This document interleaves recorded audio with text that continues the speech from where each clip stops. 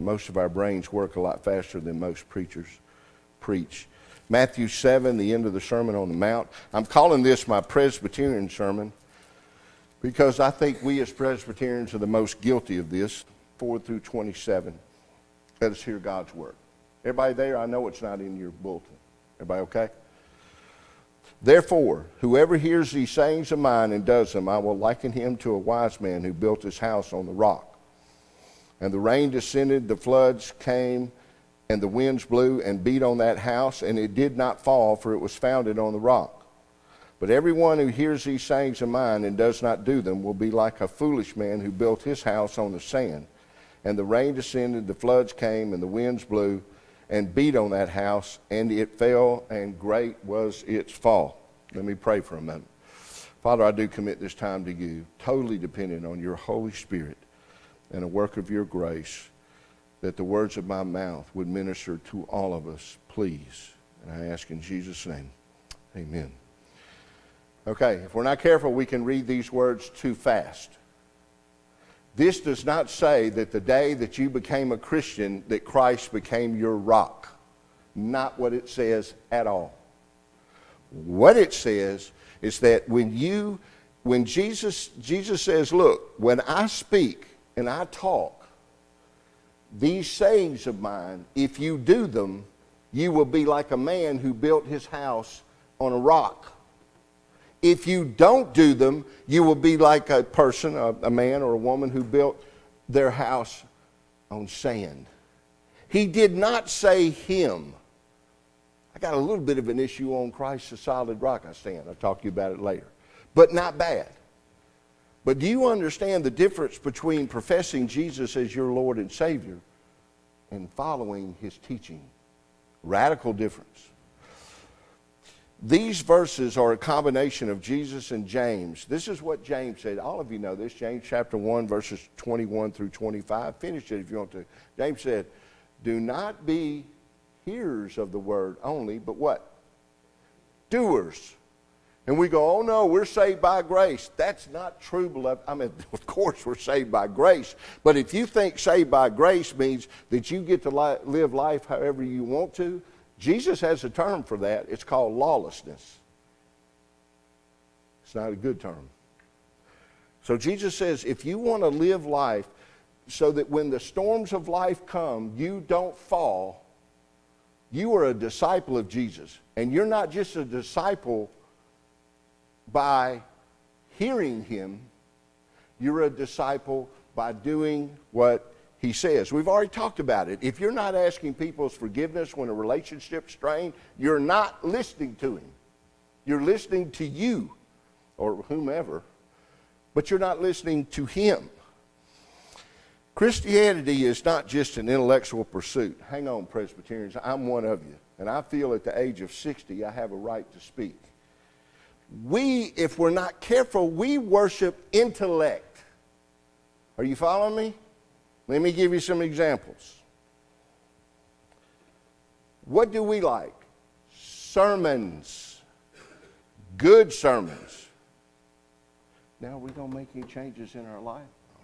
Hmm, maybe. But boy, we sure want a good sermon. Three point one would be nice. And one that really we like. I, I promise you, when I was younger in the ministry, I used to think my job was to entertain you because if I didn't, you were going to fire me. How far off am I? I've heard people say this all the time. You know, I don't like his sermons.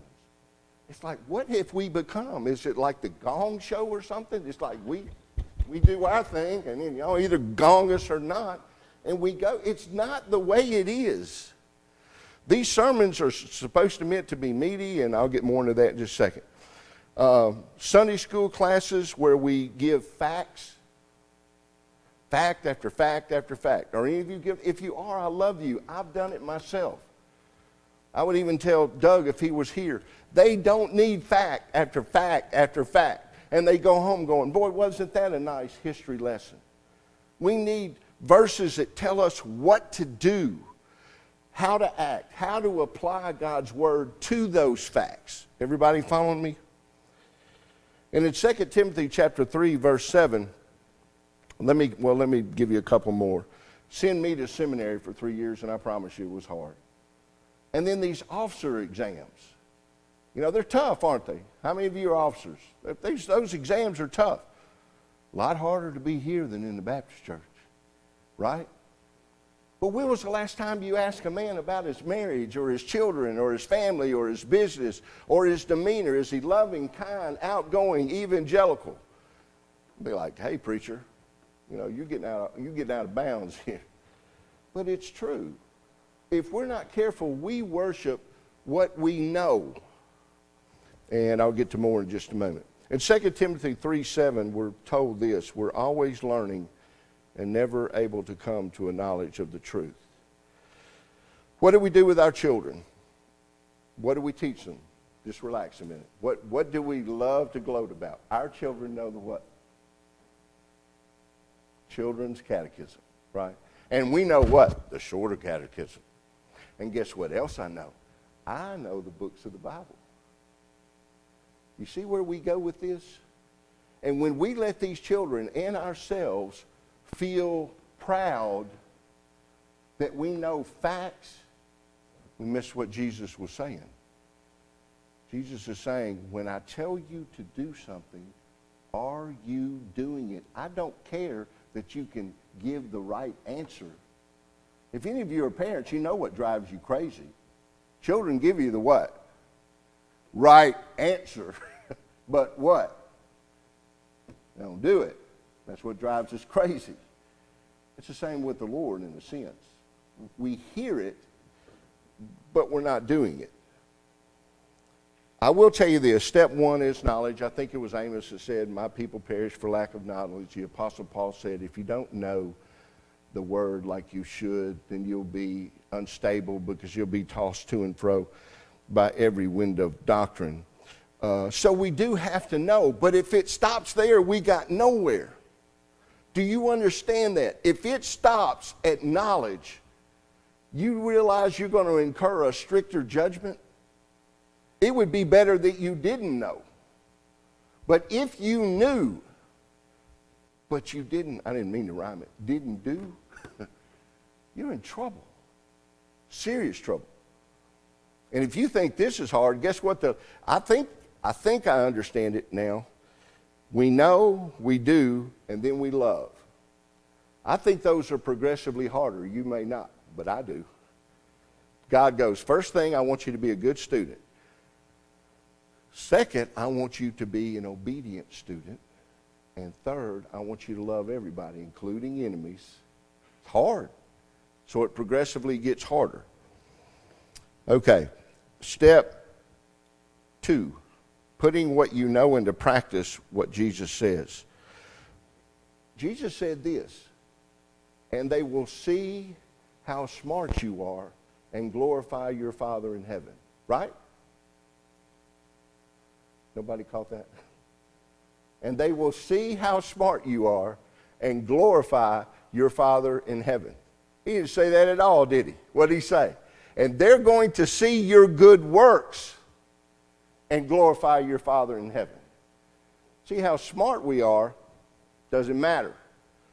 But when that intelligence gets into practice and we start being a ray of light, of example to other people, now we're living in Jesus.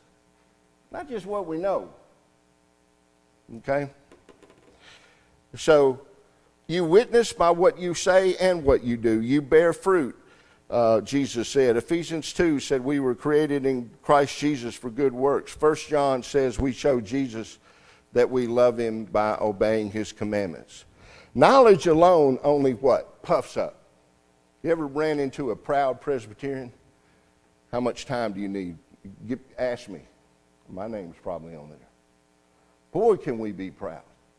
And that's what God was warning. If it's just knowledge, you're going to become a jerk. I'll just use it in day to day language. Don't do that. If it's knowledge and practice, I promise you that practice is so hard you don't have time to worry about what other people's faults are. You know who the most qualified people are in this world who correct others? How much have you whiz, uh, whittled on that own log in your eye? Everybody following me?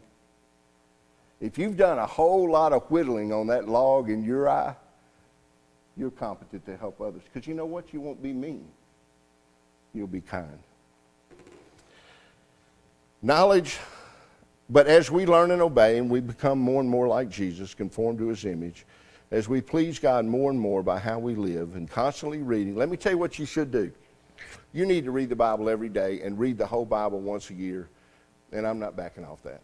I don't say, hey, I'm, I'm a lay person. I don't do that. I don't think God wrote it for the preachers to be reading it. Who did he say to meditate on it night and day in Psalm 1?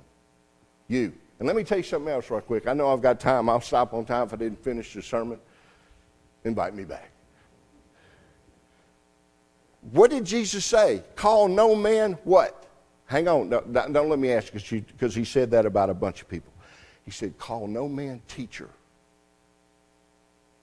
Now, why would he do that? Because he gave pastors and teachers for the church, right? For the equipping of the, saint, the saints, uh, uh, for the uh, equipping of the saints for the work of ministry. Okay, right?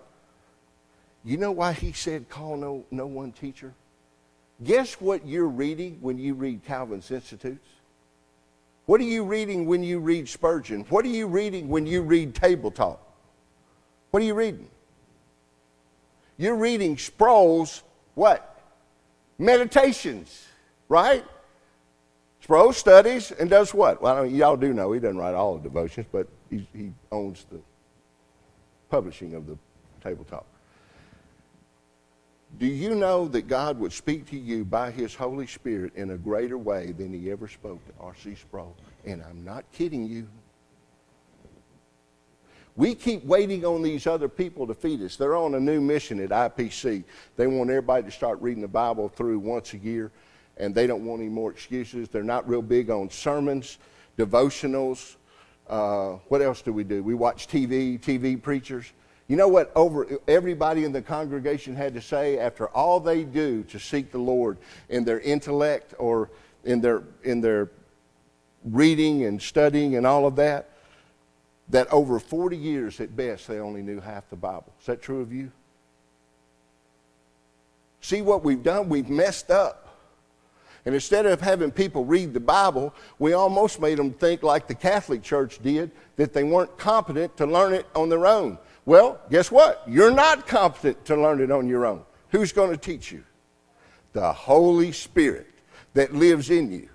And believe it or not, you could read the Bible on your own. It'd be far more godly than the greatest preacher that ever lived, and I wouldn't doubt it happened. As a matter of fact, I'd be, I won't bet my soul. I'll bet half of what I own that preachers aren't near the front in heaven. Y'all go, how could you say that? I'm telling you, we're some weird guys. We're some weird fellas. But I'll tell you this if you'll shake off the fact that you got to have somebody to teach you, and you start meditating on that word, what are the promises there? That whatever you do will prosper. All right, let me finish this part of the sermon because I do think it's important. All right. But if we begin to live and not just know, guess what you just bought? A premium on an insurance policy. You know what that insurance is for? A hurricane or a flood against your soul. Are y'all following that at all? What did Jesus say? If you don't follow my sayings, when the floods come, what happens? You fall. But if you do listen to my sayings and the floods come, you're going to be okay. Let me cut to the chase here, and I'm going to close. I'm sweating. Are y'all hot? I don't think I'm nervous. Uh, yeah, I'm worked up. Jimmy Swaggart. Um,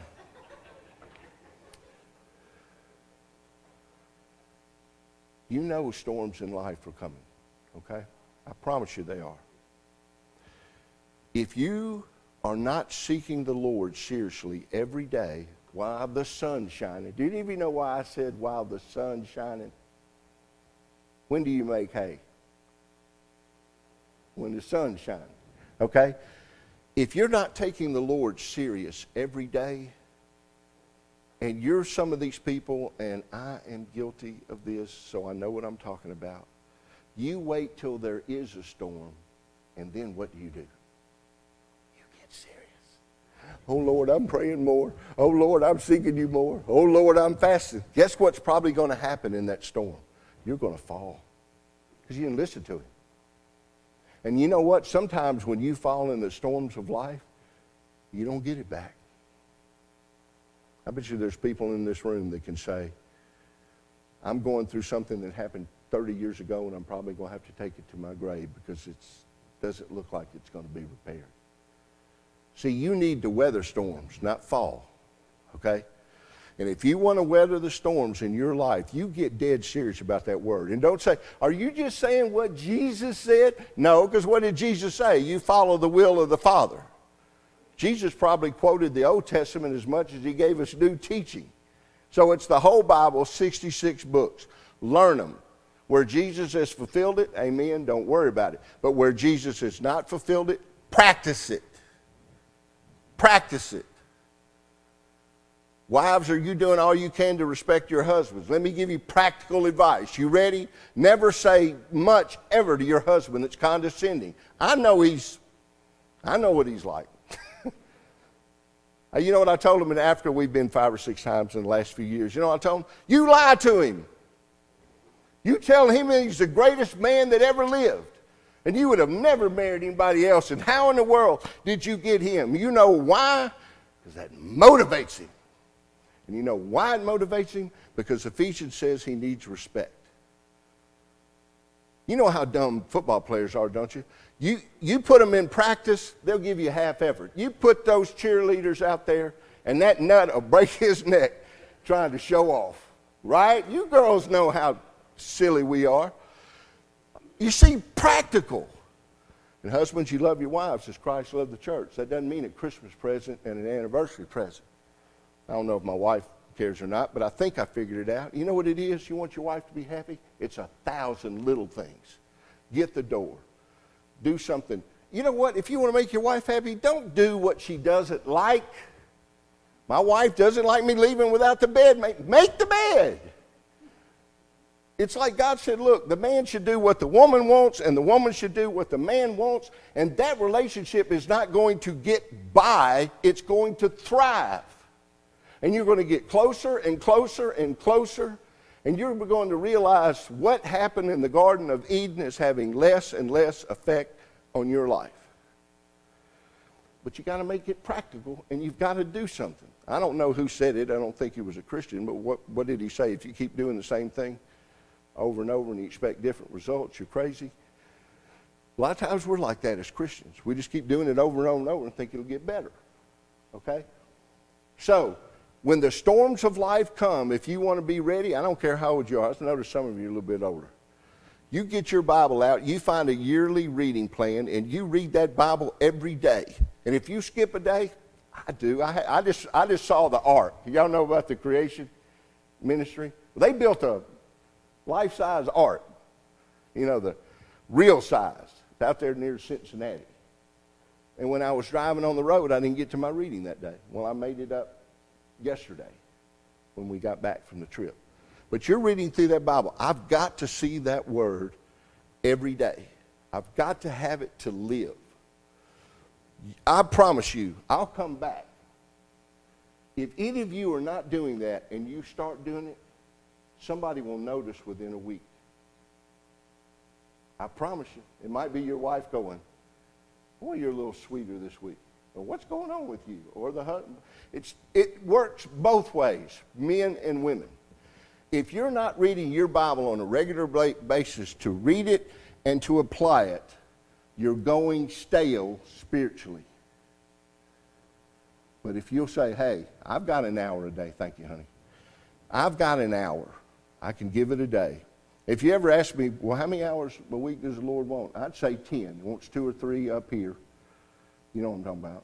Two or three here. About an hour a day at home. And you watch what happens to your life. And if you said right now, well, I do feel a little stale, I'm telling you the truth. I promise you. You get in that word. And don't you feel like, well, I got to have Dr. Sproul teach me, or I got what? Did some of you have other favorite devotionals? You don't need them. What you kind of do, I don't mean throw them away, but don't feel weak because you're reading the Word.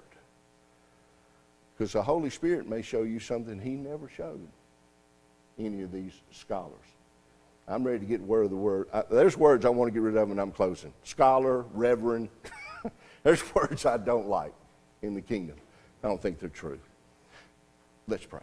Father, thank you for your word. Thank you for reminding us we've got to be hearers and doers, and there will be storms in life, and we're going to hurt if we don't take advantage of seeking you daily, that we take you seriously long before storms come, that we're preparing in our mind as we read your word that if certain storms came, these would be the verses I would quote and live by. Thank you for your word. Father, it's our most precious possession. And I cannot imagine the psalmist saying, It took him a long time to say this, Oh, how I love your law, O Lord. But Father, we can only imagine it was as he began to realize it was his greatest blessing in life, that that word had saved him so much heartache and brought him so much blessing and joy that he had to say it. And we pray all this in Jesus' name.